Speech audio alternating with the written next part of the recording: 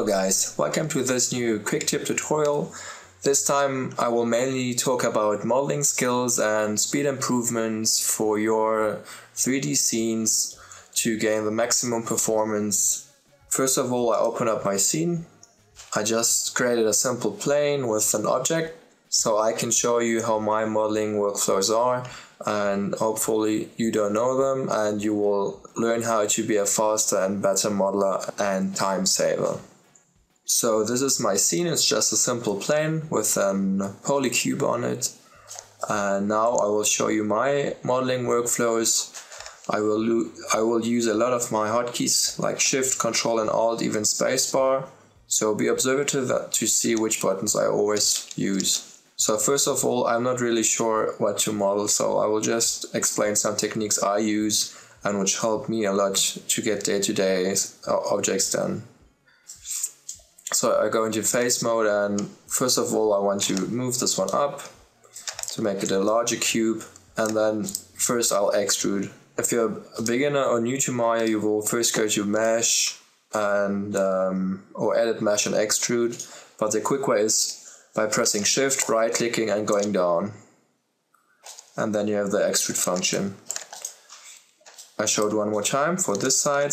Shift, I press shift, right click and go down to extrude face. And if you know the buttons, you can select it, select your faces, and with one motion go downwards to, start the extrude function. So this is really convenient and really fast to use. The next one would be inserting an edge loop. It's the same, you uh, press shift and right click. Be sure not to be in an, a component mode. Be sure to be in the object mode. Press shift, right click, insert edge loop tool. And then you can insert as many loops as you want. And don't forget you can always use the G button to use your last command used. So I press G now and I have the insert edge loop option selected. So for quick beveling modes, you can also select your loop, which is now selected. I can even select more like these. By the way, pressing double click on the edge selects the loop. And for quick beveling, press shift, right click, bevel edge.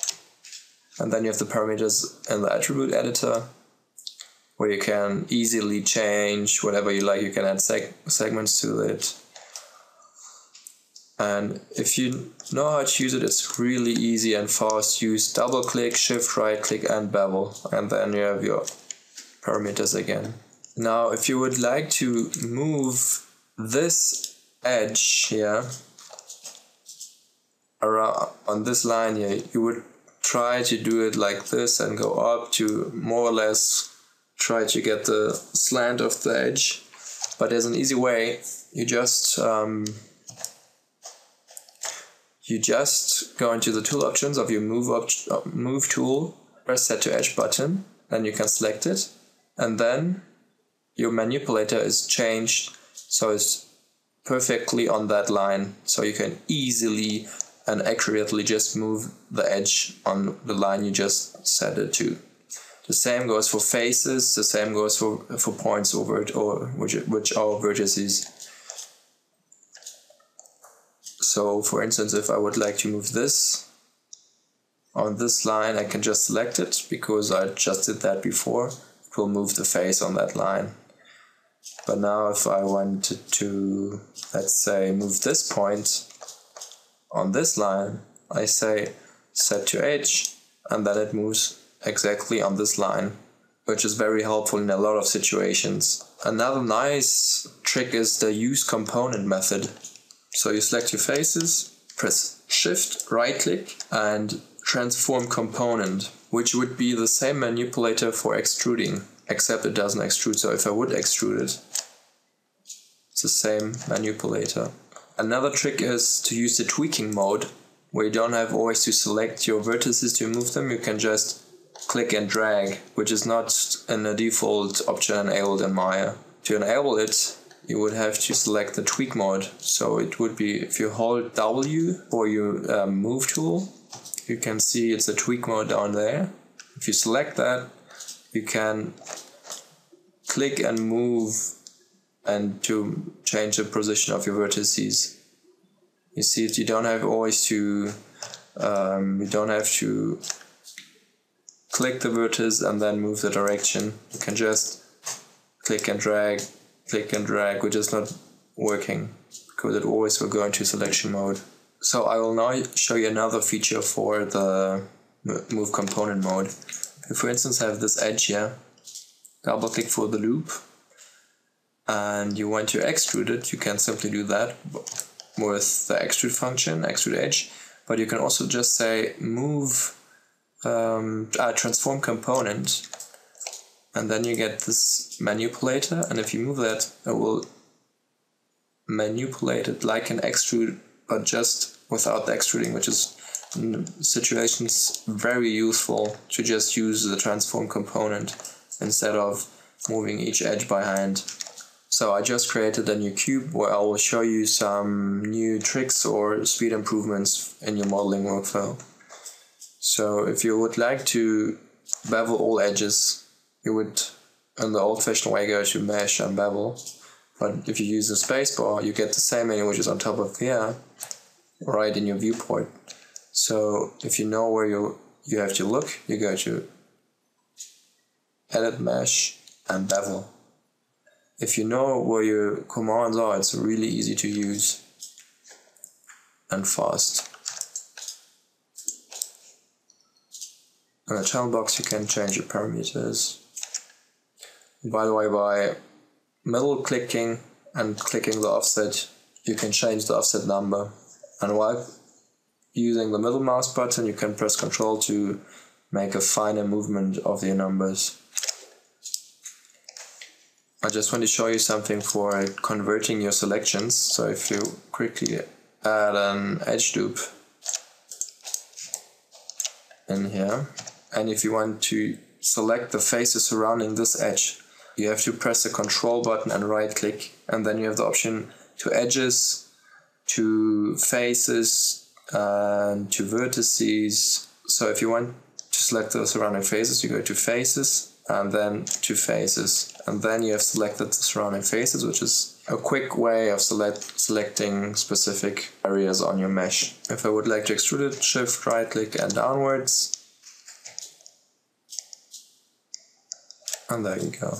And now for a quick bevel, same double click on these on this edge and on this edge, on this edge, shift right click to the right, and then you have the bevel function enabled. So be aware while using the mouse buttons and by pressing shift control you get way more options in your viewport. Shift right click has the modeling tools if you're on the edge mode, there's different tools. If you're on the vertex mode, you have also different options here, which is very neat. Then control, right clicking is more or less only for selections, like converting selections to uh, vertices or to edges or whatever. You also have simple options for quickly changing your modeling menus. You can press H and left click to select your uh, modeling shelf or your operating shelf. And another nice trick is if you have to rotate something and you want it to, to jump on degrees, you have to press or hold J for snapping and then it rotates on I think 15 degrees. So you can easily go to 90 degrees or 180 or 45 okay with this last quick tip I, I want to show you how I, I use the bridge and full hole option to create the faces which are these and I hit the delete button. So the first approach would be to extrude this edge up here and then weld it which is an option, which is also good to use, but in most cases it's not that easy to just extrude an edge and then weld it together to get a hole. So what I would also like to do is you select this edge and this edge and then you have to deselect two parallel edges and then you use the bridge functions function with shift right click and then bridge. You can create divisions or not. I always prefer no, no divisions in the, first place. And then double clicking this edge and say shift right click and fill hole. And then you have it finished.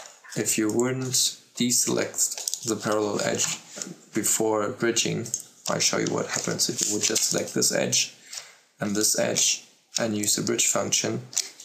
It creates a weird vortex effect. I'm not sure why that happens, but it does. So the workaround would be just to deselect two edges, do the bridge function, and then uh, use the fill hole